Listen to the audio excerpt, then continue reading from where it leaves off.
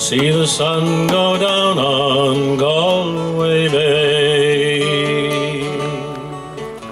Just to hear again the ripple of the trout stream.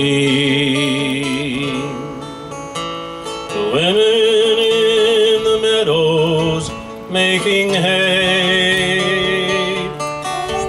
And to sit beside a turf fire in a cabin and watch the barefoot gossoons at their play. Oh, the breezes blowing o'er the sea from Ireland are perfumed by the heather as they blow.